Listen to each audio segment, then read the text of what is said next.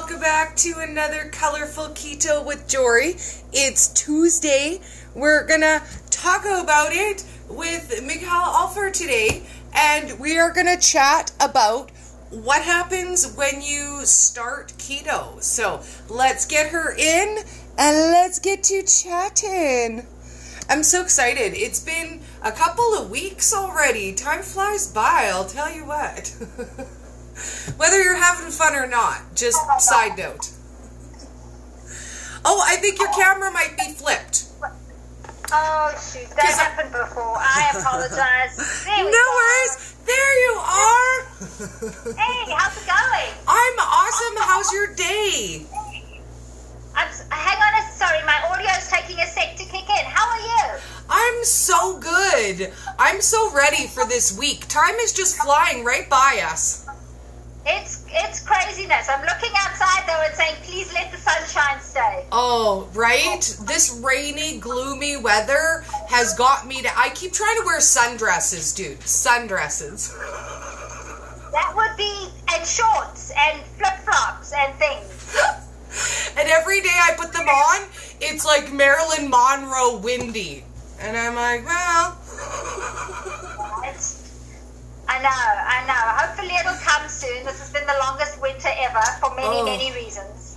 so many reasons. So today we're going to talk about your awesome blog.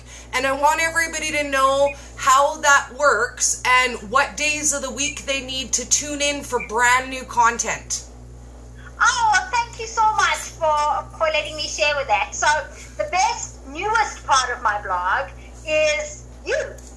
Because every Wednesday at 7.15, Dory, friends, Dory um, produces on my blog some yummy and easy and budget-friendly and kid-friendly and keto and sometimes carnivore if you want Yes. recipes.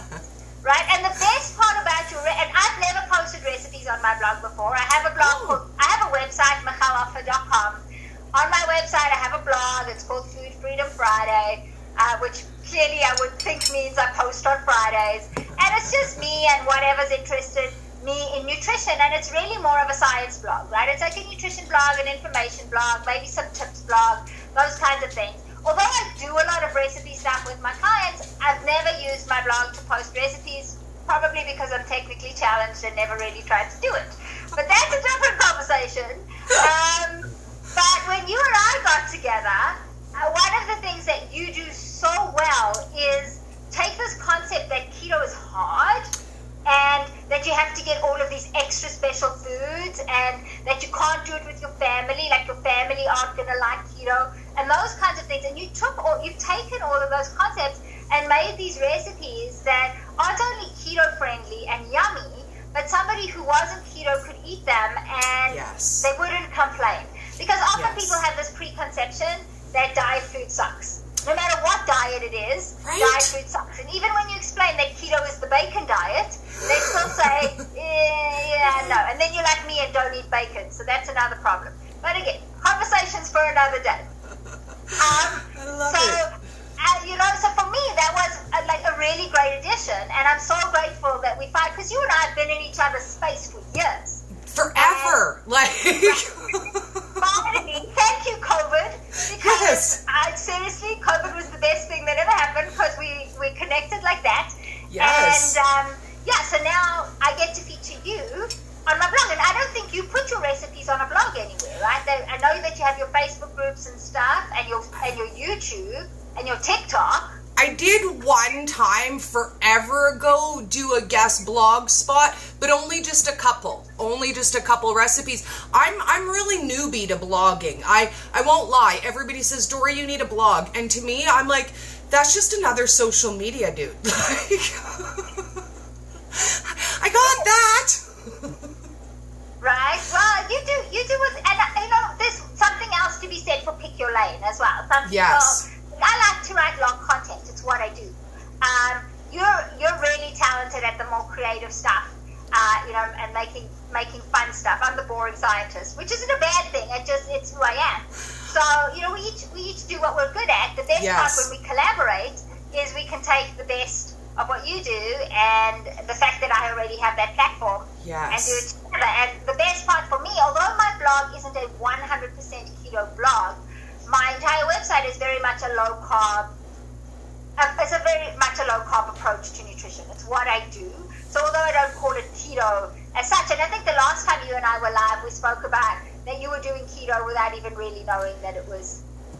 right? It didn't have to have a label. So I love the fact that the recipes all fit in, and they're made with good stuff, right? You don't make recipes Yes. with stuff, is Well, and I think sometimes you limit yourself with the keto word. My fiance and I were talking about that just the other day, and he said, "But honey, your food is is more than keto. It's it's healthy food. It's natural foods. It's it's whole foods. It's good. It's healthy. It's tasty. It's more than." keto. And I think sometimes because we're so anxious to grow the keto community, we, we want to put that word on every. I'm colorful keto with Dory.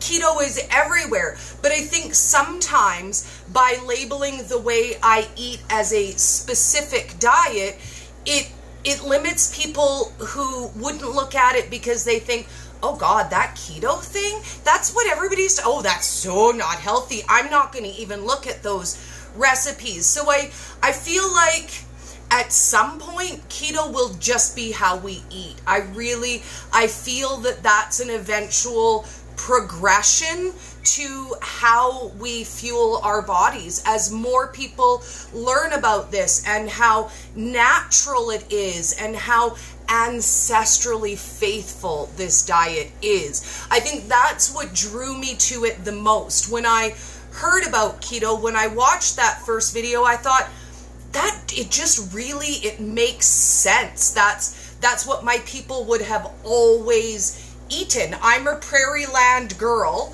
so we would have had venison, we would have had nuts and berries in season, and that's that's pretty much what I would have eaten thousands, well, hundreds of years ago. Right. And I mean, what when people ask me how I eat, I always say I, I eat real food. yes. And I say, well, are you low carb? Are you this or that? I say, well, if you want to get technical, my diet is probably the closest to something that you, you would might call carnivore-ish.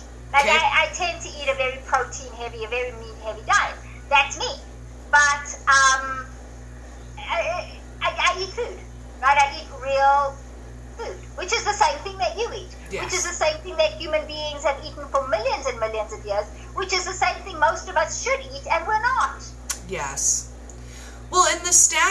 American diet is very new in comparison.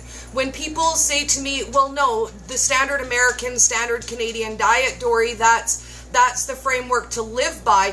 That's really only been around for about 60 years. And coincidentally, the same time where obesity is a huge problem. Heart attacks are a huge problem. High cholesterol, poor health, poor mental health. Is that a coincidence? I think And you're. you know, we're not allowed to talk about medical advice and this and that, but we've definitely gotten a little bigger and a little sicker. Mm-hmm. the last, I mean, I know definitely, I think you and I are in about the same generation, definitely since we've been around, Yes. right? I, Yes. and, and I'm not, I'm not trying to shame anybody in, in any way, but uh, when I was young, it was, it was much less prevalent to be overweight. Yes. And now, it's much more prevalent to be trying to lose those last 10 pounds. yes. every Well- I remember being, you know, one of only maybe two fat kids, and that's that's how it was. I was the fat girl, you know. I stuck out like a sore thumb. None of the other kids were my size, and now when you look at the general population, it's so much more common to be overweight, if not necessarily morbidly obese, which I was. It was so awesome when the doctor told me I was morbidly obese. I, I celebrated with three days of junk food and crying. Right, I mean, yeah, and, and they're not particularly nice about it. And then there's No. the blame and shame game that goes on with that. And it's like, well, eat less, exercise more, and Yes. you're just hungry and miserable all the time. And um, it doesn't work. High carb, low fat. That was honestly, when I look back on the dietary recommendations I got from my doctor, I was to eat moderate protein, super, super low fat. And my doctor always told me to fill up on those carbs, Dory, because they're going to make you feel full longer. So my old plate would be half carbohydrate, a quarter meat or protein, and a quarter vegetable. And that's how I ate all of the time. He said, Dory, fill up on plain popcorn. It will expand in your stomach. It will make you feel more full.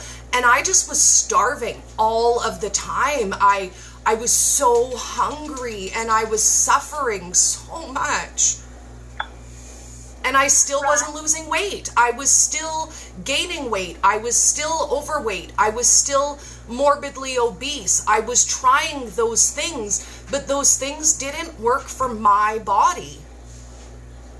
Well, and and if you look at the majority of people, it takes a lot of work for those things to work for anybody. Yes. Right? There might there might be some people, but there are way more the outliers, but way more the exception than they are than they are the rule, and it's and it's tough. So I also know one of the things that you had shared with me, which I think is super interesting, and we were going to talk about that a little bit. I think mm-hmm. um, was that you went keto without your family doing the whole thing. And I one did. of the biggest complaints that people get, and this is why I love your recipe so much, is that well, it's too hard because everybody else is eating this, this, this, and yes. this. Like it's Taco Tuesday. Yes. I want that everybody else is having. So yes. how did you manage that? How did you navigate that? Well, for me, I it sounds funny, but I didn't really change an awful lot.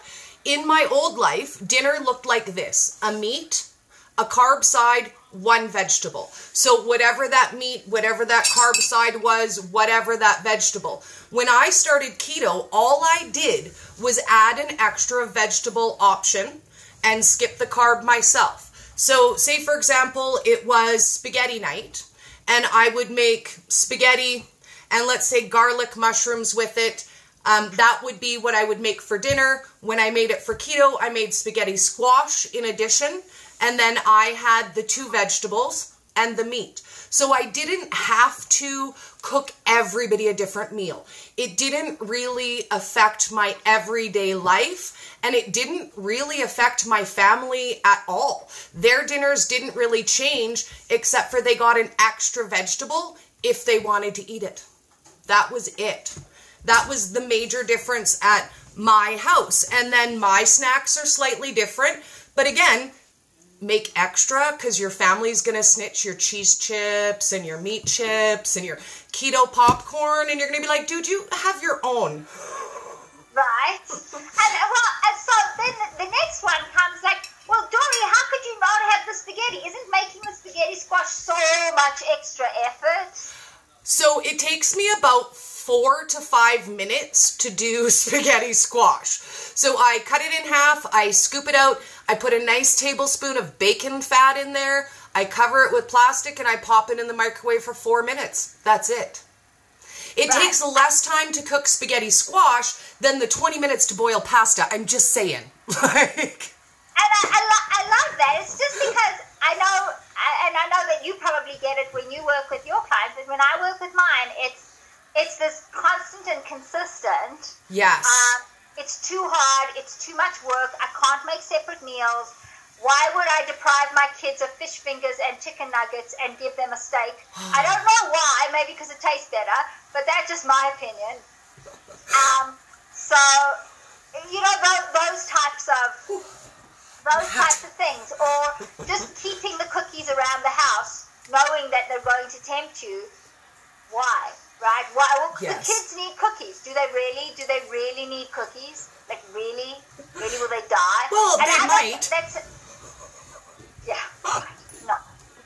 They, they might be a little grumpy for the first for the first few days. So how Yes. did you deal with some of that? Like with all the, with all their junk food? Okay, house? so I'm gonna say this. This is how far cookies are from my reach at any time, at any given moment in my house. Because Jacob has special needs. This is his cookie jar. He will access that as he pleases. For me, it was honestly about deciding I don't want those foods. Because if I'm focused on, oh my God, I can't have those foods, my family gets to have that, why don't I get to have that? Then yes, you will live a life of suffering and deprivation and you will spend every day hating your own face. But the moment when you realize it's not that I can't have those foods, I don't want them because they don't make me feel good, then it's easier to honestly just not want them. Like they're there, but I don't I don't want them. I don't feel tempted to eat them because they make me feel sick. If I want cookies, I'll make a batch of 6 keto cookies in my microwave in 1 minute. Cookies. Right. And I, I think the mindset is a big is a big thing and it's actually it sounds so simple. It is so simple, but it's not easy. Making that mindset shift takes takes a lot of a lot of work. I, I know I talk about that a lot, and um, once you do, once you flip the switch, you flip the switch. Yes. Right? Once once you hit keto and you're feeling amazing, and then there's one day that you kind of go off the rails a little bit and you're not feeling so amazing. Um, it, it makes it makes a huge. It's true, right? Yes. It makes a huge a huge difference. I know how I feel when I eat food that I don't usually eat. And I yes. don't believe in an all or nothing approach to most things in life. But like you, it's a choice, right? It's well, is it almost is it worth it? Is it worth yes. it? Yes. Occasionally it might be, but those occasions, as I've gone through my journey, and um, you've probably found that as it's gone through yours, those are, those occasions become further and further and further apart from each other. Yes. I would say the first time, the first time I dared to eat off track, I had been keto, let's see, I started in April, so May, June, July, August, September, October, November, December. I had been keto for eight months. And my girlfriend brought over her tin of cookies that she does every year at Christmas. And I thought, girl, I got this. I'm I'm keto AF. Like ain't nothing gonna hit me. I am I am bulletproof, baby. You don't know me. I can eat what I want. And I thought, you know what? Two or five cookies that's not gonna it's not gonna hurt me any before i would sit down and eat a half a tin of her cookies and i will tell you what i i hit panic mode um, bad things happened and overshare, but I was unable to poop.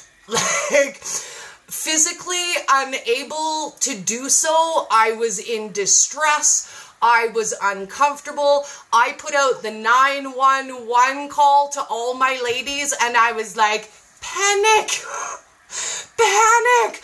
What do I do? What do I do? And one of my girlfriends reminded me about flax muffins. And I said, Oh, girl, I love you so much. I ran off and I made myself a batch of flax muffins um, with a video attached in my house coat that talked about possibly overeating. no proof. Hello, prove it. Um, and within 20 minutes, I was okay.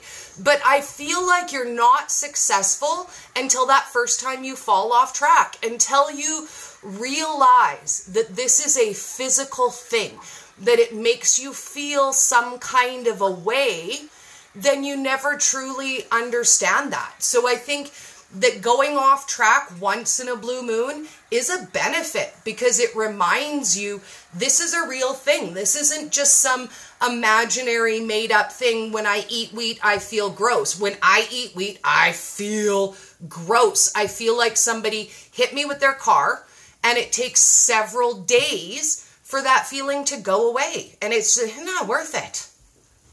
It's it's a toughie, and I think uh, you know one of the things that I always get people saying to me is, "Well, if I never eat it, I become more sensitive to it. Like it hits me harder." And I always smile when I hear that because the body, uh, as as humans, we are incredibly, incredibly adaptable, and yes. we the body physiologically works unbelievably hard every single day to make you feel somewhat normal.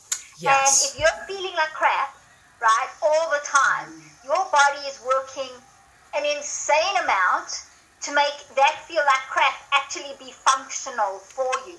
So you yes. break down in other ways, right? Some people you know, some people get eczema, some people get acne, some people get stomach distress, some people get depressed, some people get arthritis. It depends. You break down in your own way, but eventually you break down as your body's working so hard. So then all of a sudden you start to feel good and your body's going, ah, thank you, Dory. Thank you.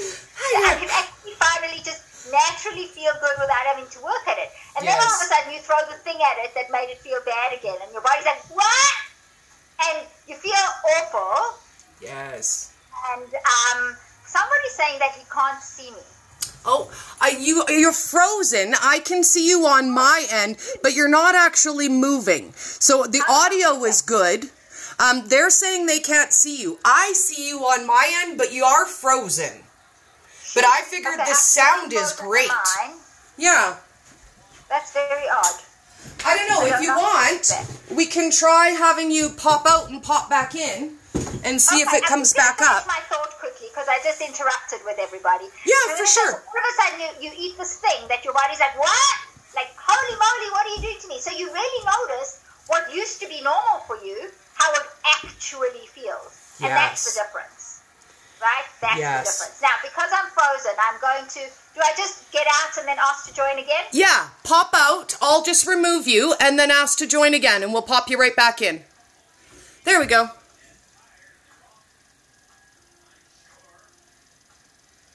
Okay, so we're just gonna wait for her to send us a new request and then we will pop back in. I had to take my sweater off, guys. I'm melting like holy man. I don't know how it got so hot in my house, but it certainly did. Okay, we're gonna add her that way and see what happens. I'm like actually sweating. it is it is warm. Okay, I think we might be backwards again. Oh, there you are. I'm back. Okay. Thank you, Dory. Dory's making me technically savvy because I'm oh. seriously the most technical. It shouldn't be in 2020, but I'm seriously technically challenged. Do you know what? Me too. Before keto, I didn't know anything about social media. So if you guys are not technically savvy, know that it's possible to change that. Like, passion will change that for you when you want to figure out how to share content, girl, there is nothing that can hold you back. Right? Either that or you make good friends with Dory and she helps you. Dory will always help you. If you guys are struggling, send me a message. I'm a super good explainer. I'm just saying, like, I live for that.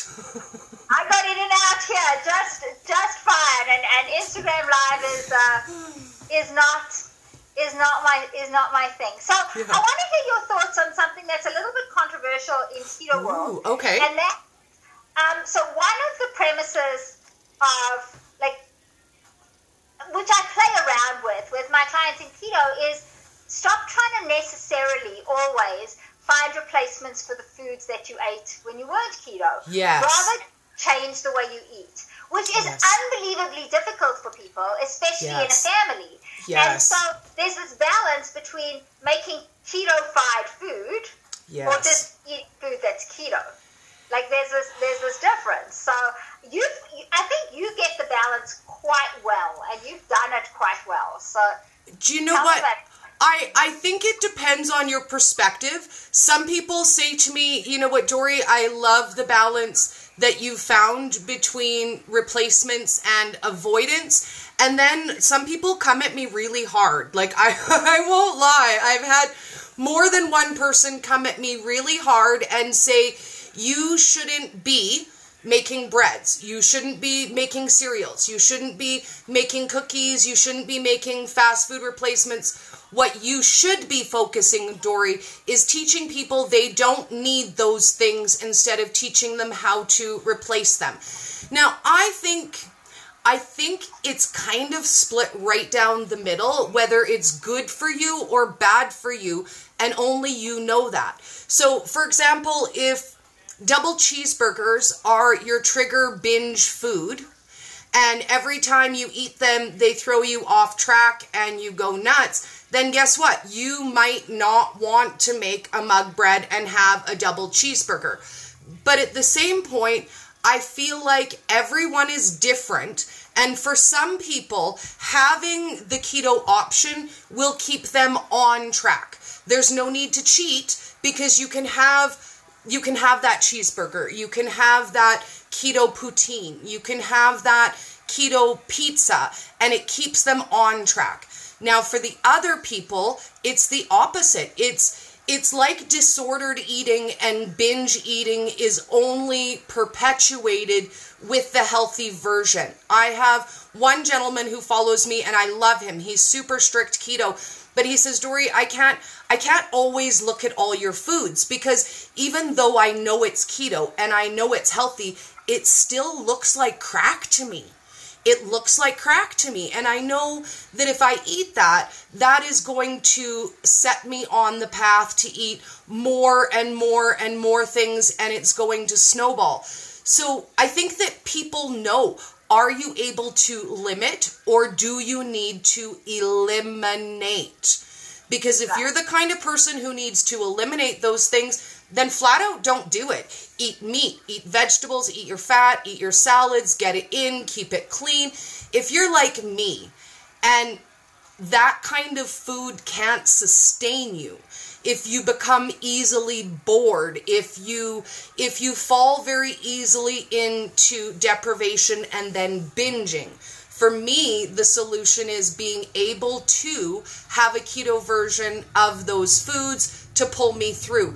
But at the end of the day, only you know should you be eating treats or should you be keeping strictly clean? And no one can make that decision for you. And even if you decide, I am strict, strict, clean girl, I never this, I never go off track, you still may want to have a piece of keto birthday cake. You might want a donut at your kid's birthday party, and that's okay. You haven't set in stone. I'm strict keto, I never have treats. Doesn't mean you can't do it once in a blue moon. The same as if you say, you know what? I'm living the fat girl dream, baby. I eat what I want, I eat when I want, and I don't get fat. But if you come into issues where you're stalling, you may want to do a week of super strict keto and see. Eliminate everything down, start adding things slowly. You might have an issue with nuts. You might have an issue with dairy. You might have all of these different problems. And it's not that keto brings out these issues, it's that you start paying attention to your body, you start paying attention to what you eat and you start noticing things. Those things were always there. I always had IBS. Like. I always had that, but I didn't realize as stupid as it sounds that it was tied to what I eat. I just always thought that's how my body works. Once something becomes your everyday normal, it doesn't seem so odd. You know, if you're used to having migraines every single day of the week, you're like, well, whatever. It's just another migraine. It's Tuesday. But remember, your body's working really hard to make you fully functional.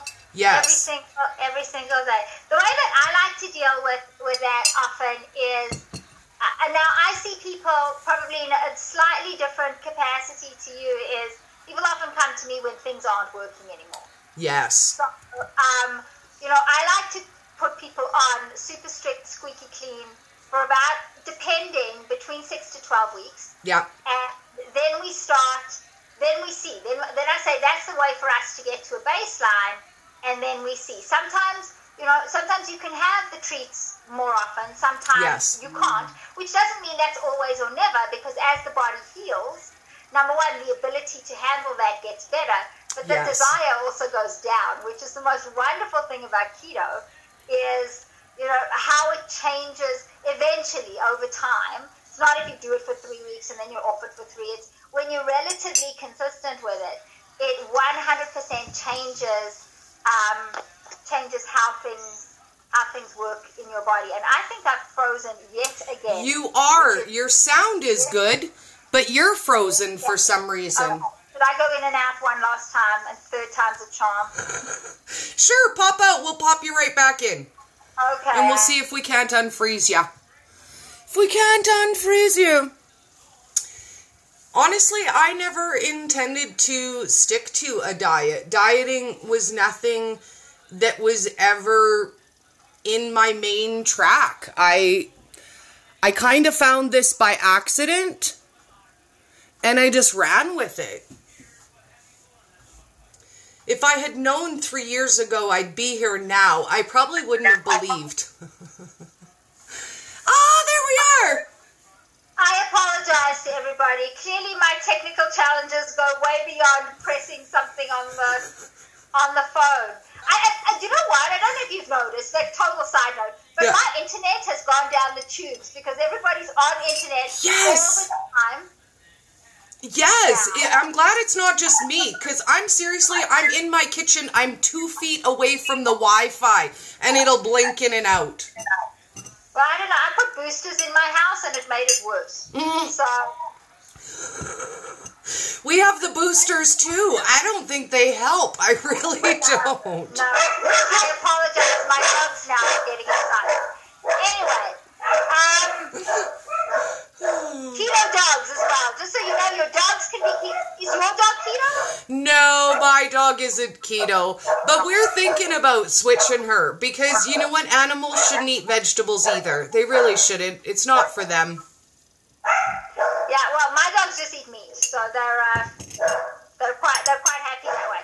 But anyway, back to back to what we were talking about and this whole transitioning thing and going squeaky clean and, and playing around. And um, I think, and I agree with you. You're either a moderator or you're an abstainer, one or the other. Some people can have a little bit. Some people can't have any. Right? Some people can have a drink. Some people can't without becoming honestly raging alcoholics. It's just the way the way that it, the way that it is. I think there's something to be said though, um, and, and there's a lot of stuff in the keto space, and it sounds like you came into contact with it, of people who are able to emotionally detach from food. Yes. So don't they actually don't there's things there's things about eating that are beyond the nourishment, beyond the true vitamins, Yes. minerals, and nutrients that we're getting. There's a connection when we eat together with people. There's a pleasure. There's a there's a memory. Yes. There's, there's a whole bunch of things. It's why we there are the cliches of breaking bread with somebody. Right? There are that tribally we've always, always had feasts together. You don't often see, even in ancestral man, him eating alone. Yes. And there's something to be said for this pleasure principle that's garnered from um, from food. And you know, keto food in and of itself is, is great. It can be tasty, this and the other. But within our current history, within our current world, we have a relationship with pleasure foods that are Yes. very, very different from steak and broccoli. Yes. And, and sometimes you just need a cookie, right? Yes. Sometimes you just want to sit down and share a pizza with your family or have a piece of birthday cake, not because you're hungry necessarily, but because there's a pleasure in sharing in sharing the birthday cake, even just Yes. even just a bite.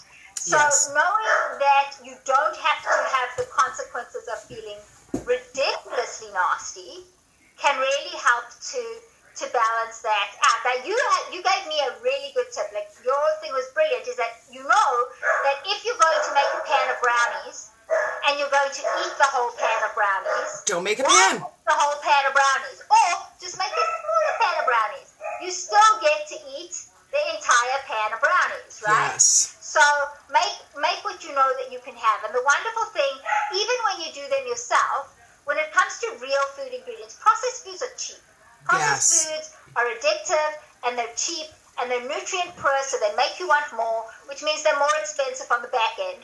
But on the front end, they're cheap, right? Nutrient Yes. dense foods, keto foods, even foods for keto treats are not cheap. Even when No. you're making your own nut flour, like you do, which is Yeah. way, way, like way more cost effective than buying it. And Dory has a recipe on my blog, nut do. flours, nut flours, and nut butters.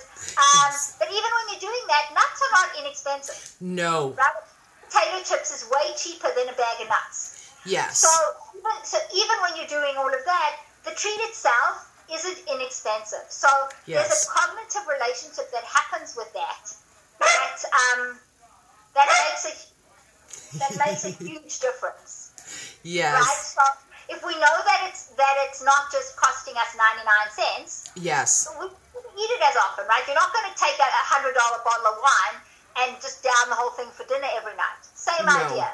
Yeah. Also, there's something to be said, which is the best part about what I think about what you've done. There's something to be said for making it yourself. So much.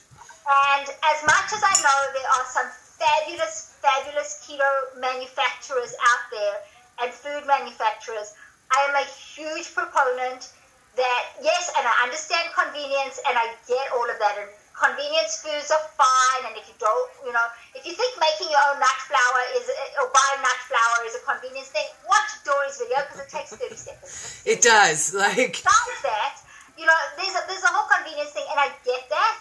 But a treat is a treat, and a treat should be treated literally as this indulgent thing. It's not just Yes. something we shove into our mouths mindlessly to suppress an emotion. It's something, if we're going to be eating for pleasure, we're eating to experience the pleasure. And part of the pleasure is in the creation.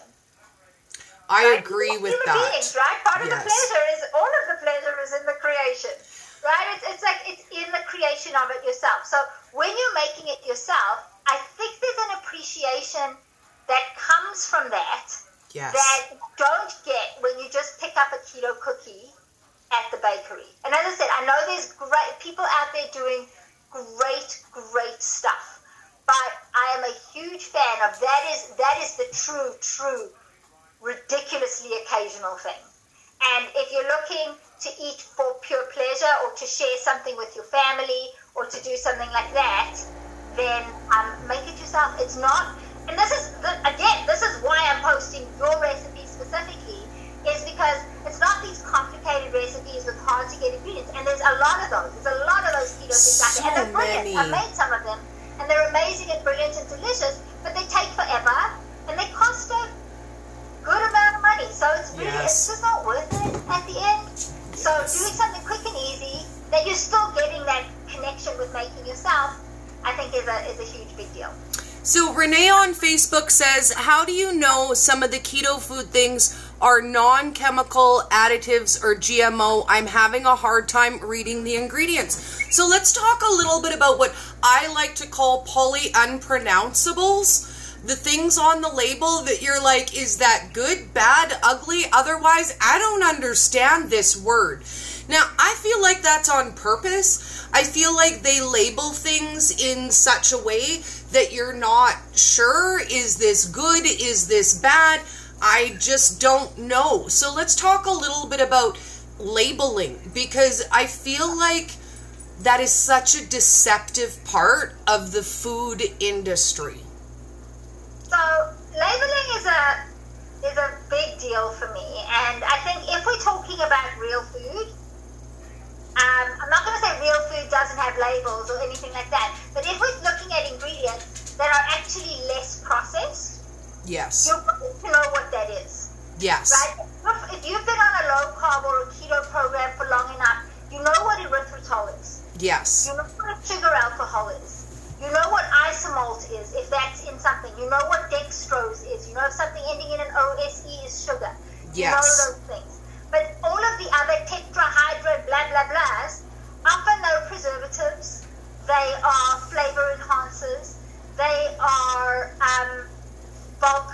They create bulk. There's a lot of fiber that's added to products um, in the form of inulin. Yes. Um, inulin is a big one, or sometimes um, even psyllium, which Yes. is fine if you're doing it at home, but it's used to bulk up or to to make out like the keto product has less carbs than it does because it has more fiber. Okay. Right. So I'm always really so. I'm going to say a couple of things about for me labeling with a keto product. Okay. Number one, if you're counting net carbs and you're buying a product in a package, there's no more net carbs. Yes. It's, it's carbs and that's it, right? Yes. You don't know how much of that has been balanced out to create a label. Number one. Number two, read the ingredient. If it really, if it kind of sort of sounds like something that you might know, it might be okay. Might. Okay.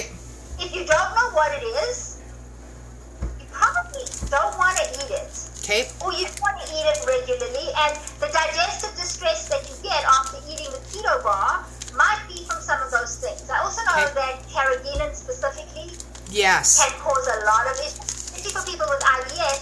Is carrageenan is it's a thickener. It, Yes. it gives things something called viscosity. Um, it's like xanthan gum, but um, cheaper.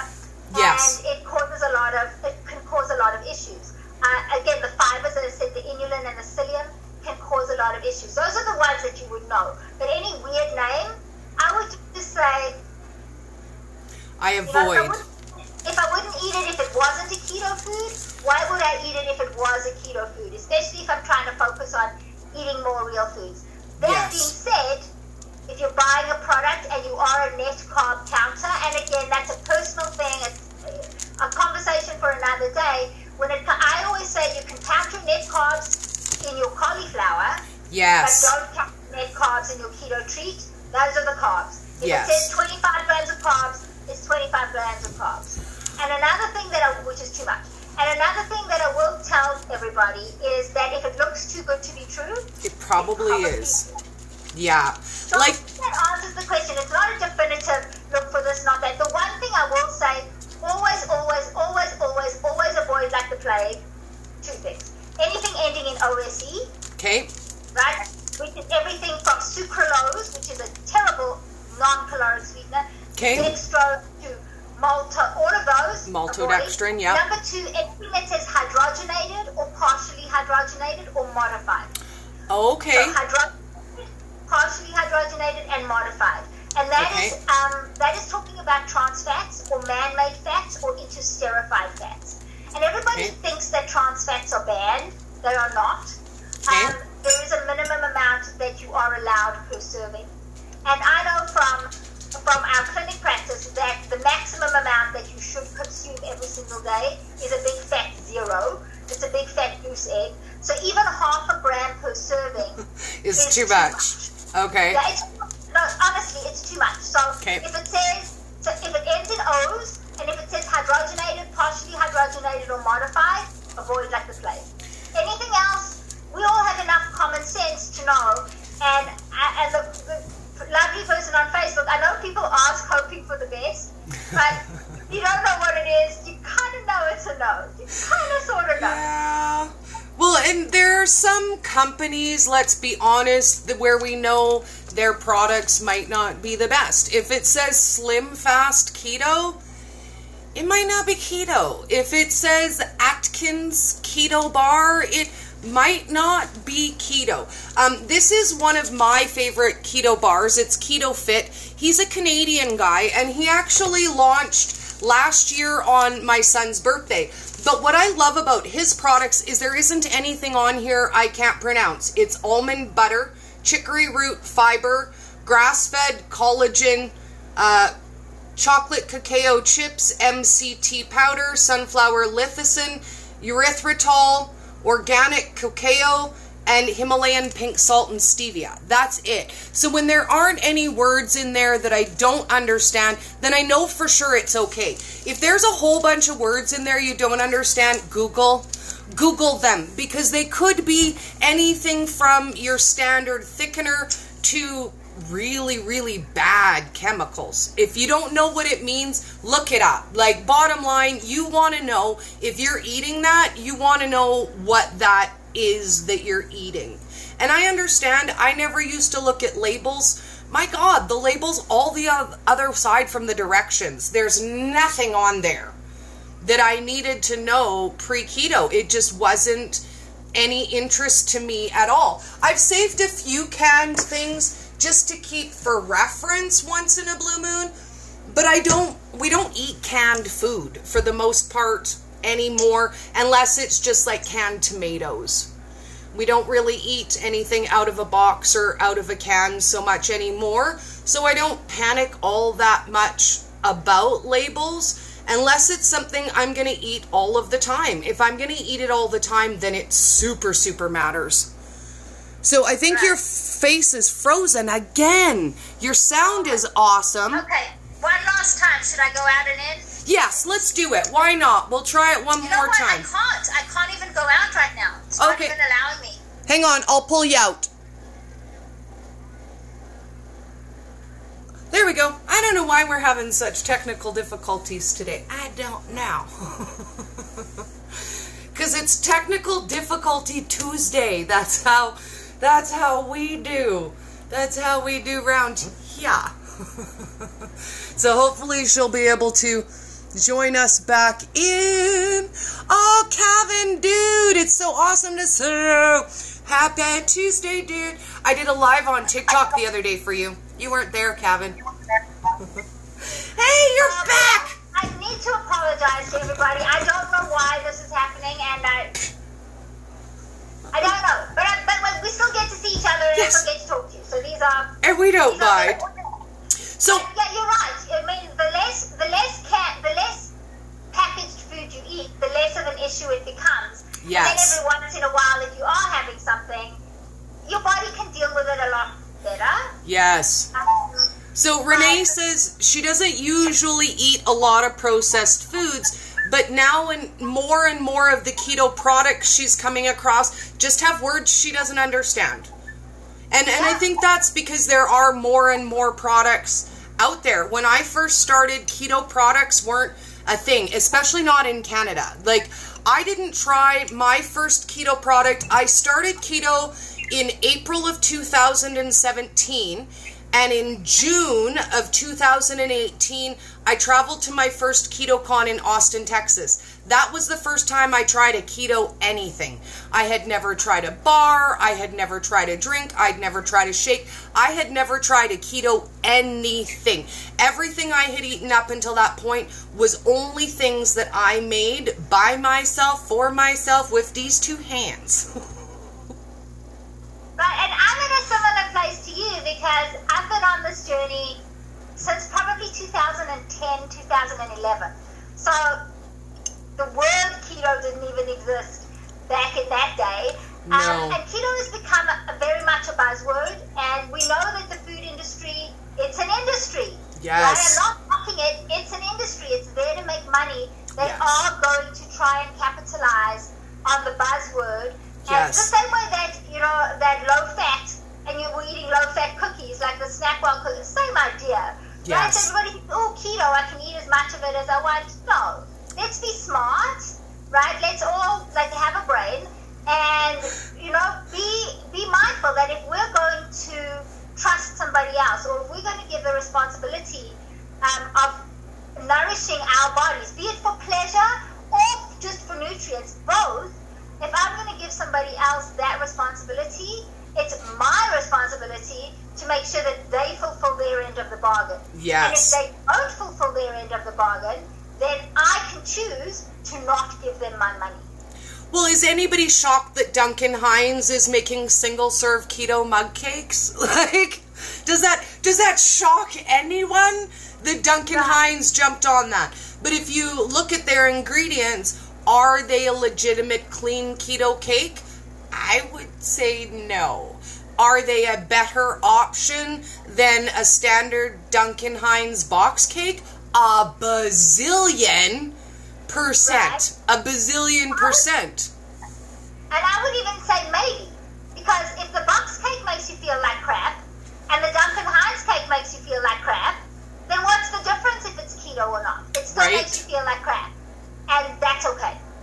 Just, be- just because it's keto doesn't have this health halo around it either. It doesn't mean that automatically, you know, it's gonna it's going to support you on your health journey. Whatever that health journey might be. It doesn't it doesn't mean that. And um, again, what works for you, Dory, and what works for me might be two totally different things. Your digestive issues and mine are, I mean, we're different humans. They're, they're different. So Yes. I know there's some foods that I can't eat. There's some foods that I don't like. They might, they're probably totally different from yours. So, uh, you know, it's up to each of us to to take responsibility for that. And I think that's the, for me, the underlying gist of everything that we've spoken about today, even from the very beginning, is take responsibility. Don't say I have to eat it because the rest of my family is eating it. Yes. Don't say it's too hard for me when it takes four minutes to make a spaghetti squash. Right? It's your respons- Your health is your responsibility, and Yes. you know I don't believe that we have the right to say I don't feel good in my body if I'm not making an effort to feel better. Yes. I had something that came up with a friend the other day, and I wanted to ask you about it because I am pretty sure there's some science behind it somewhere. And you know how Dory works. I I know the ins and outs, and I know things work that way because they do. Do I always know the science behind it? Not always. So I wanted to ask you: Is there a science behind five days? five days of eating in any certain way.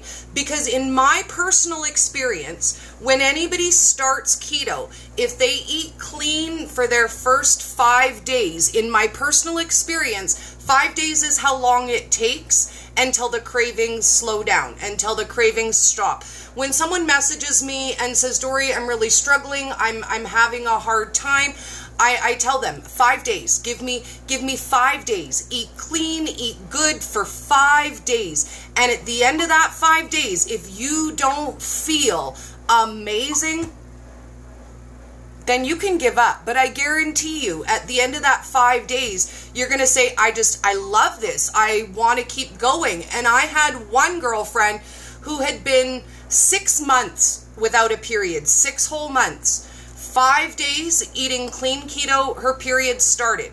Two days later, she had a cheat day, her period stopped. And she's like, it's actually, it's what I'm eating, Dory. It's what I'm, what I'm eating is stopping my period. Yes, girl. Yes, girl. Well, I will say that there isn't a science behind the five. Okay. I think five is a very doable number. Okay. And it's a mental hump that people can get over. Okay. So it's not 10, which seems long. It's not even a whole week, which seems long. So I, I, I do believe that. It takes about six. So when when we're talking about huge differences in how we feel, okay. like like friend, um, there's often a lot of food allergies or food sensitivities that come into that. And on a very basic level, if you remove if you remove the um, the offending food, it takes about 72 hours for that food to be totally eliminated from the body. Okay. So it, it takes about three days of feeling like utter crap. Now, some people will feel it for longer, yes. and it, there might be multiple sensitivities there, and we're only eliminated a couple and not all of them. Okay. But after about, so if you say three days to get it out, and then a couple of days to get it normalized, I would probably say most people, even if we're looking at something like keto flu, it generally generally kicks in around day three. Yeah. And it generally is done by day seven. Okay. If, if you think general, very generally, I know you're going to get a lot of messages. My getting started someday, whatever, and it lasted for six weeks. And there's many reasons that that can happen. Okay. But uh, in a very general sense, that's kind of sort of where it is. Okay. So five kind of sits nicely in the middle. It's a safe it's a safe bet that there's going to be a positive change. Okay. Might not be all of the positive changes. I'm willing to bet that after five months you feel even better. Oh yes. Uh, At five days, it's long enough for the bad stuff to be gone and the good stuff to start to make a difference. Well, and you can stick to it for five days to see how how you feel and how that's going. And I know for myself personally, when I tried to eat off plan on day five, it just didn't taste the same to me. I already had a slightly altered taste bud, and it just didn't taste yummy to me anymore. Three days to get out of the system. So after day three, it will taste a little different. Right? It will taste some, you know, and again, you, there has to be some personal awareness, and I think some accountability and some coaching helps when when that in regards to that, right? Because trying to white knuckle it sometimes, especially if you're coming from you know severe metabolic dysfunction or severe emotional eating problems or severe carbohydrate addiction, which is a thing, people. It is a thing. Yes. Um, you know, you can't white knuckling it. You're not going to white knuckle getting off heroin right? And, and, No. I'm, and I'm not being I'm not being trite here. This is as difficult. This just seems to be a little more socially acceptable. Yes. And so you're not going to white knuckle it. The help and the support. If you can get over that 72 hour hump, you will things things will begin to happen. Now that doesn't mean everything in one day, but things will begin to happen for, for sure, for sure, for sure. So let's wrap up talking a little bit about the keto flu because I'm gonna I'm gonna tell you something honestly. I have very very little experience with the keto flu. I never had it. I don't know anyone personally who ever had it who dealt with symptoms, but it is such a concern for people that I've literally had people message me and say, "Okay, Dory, so I'm I'm all set. I'm ready to go. I've done all my research. All I need to do is plan off a week in my schedule when I can have the keto flu, and then I'm good to go, girl." And I have to tell them, you don't have to have the keto flu. You realize that's not a given, right? Like, you don't have to get the keto flu. I avoided it personally by switching my diet slowly, which is what I recommend to everybody. Don't wake up tomorrow and say, I don't eat carbs, I don't eat sugar, I don't eat this, I don't eat that, because guess what? You're gonna get sick.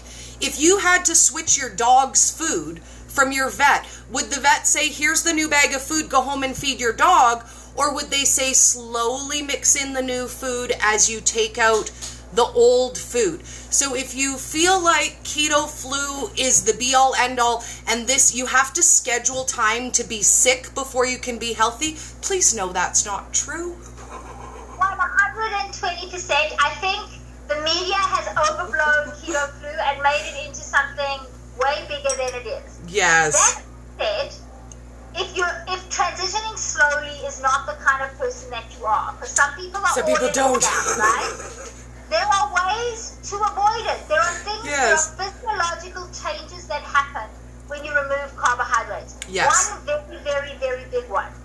And it's the loss of electrolytes. When we store carbohydrates, we store water and salt. It's not the other way around. It's water then salt. When Okay. you take the, away the carbohydrate and you start using them, the water is released. That's that initial like fat, that initial loss. Water and the salt goes with it. The electrolytes go with it.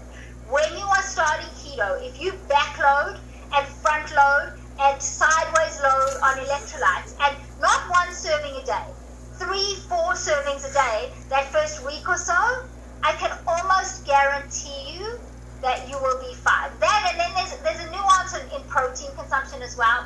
That but that's that's way more than we can discuss here. But I will say the biggest trick to avoiding keto flu is get a good electrolyte supplement.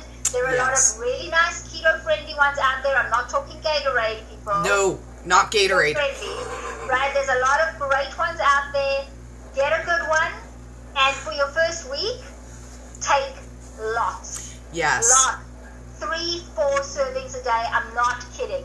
And it makes the world of difference. The world of difference. Yes. So we've got, I think, about two minutes left before Instagram kicks us out. So why don't you tell everybody where to find you, all your social medias, and then we'll wrap up for today. Well, sure. Well, other than my dog barking, um, you can find me at on my blog at Michal and Dory on my blog at michalofer.com. So that's M I C H A L O F E R dot com. Okay. Facebook, you can find me Michal Ofer Lifestyle and Wellness. And Instagram, it's at Ofer Michal because Michal Ofer was taken. It was somebody else with my name. So it's, it's my name the other way around, O-F-E-R, M-I-C-H-A-L. Um, I look forward to connecting with people if you have any questions or comments or um, something that you wanted to add or something that maybe Yes. you wanted Dory and I to talk about because I'm sure we'll Yes. talk again because we enjoy talking Oh, to each other. for sure. We're going to make this a regular thing. We have so much fun together, darling. Thanks so much, everybody. It was so Bye, great. Dory. Thank you. Have a great day. Bye, honey. Bye. Okay, so I want you guys to go check out the vlog. Tomorrow will be our new recipes. Spoiler alert, something carnivore tomorrow for my carnivore ladies. And Michelle has an awesome article on there about getting started with keto. So if that's you, if you're getting started, if you're just getting on track, if you need to get back on track, check out that vlog and have an amazing day, guys. I love you. Bye. See you soon.